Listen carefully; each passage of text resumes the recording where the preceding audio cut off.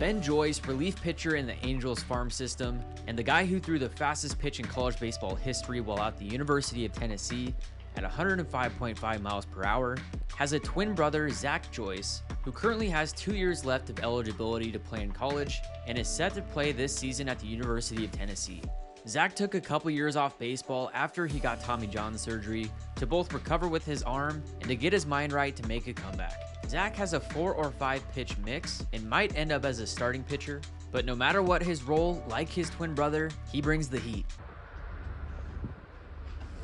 Yeah, good boy. Yeah, good boy.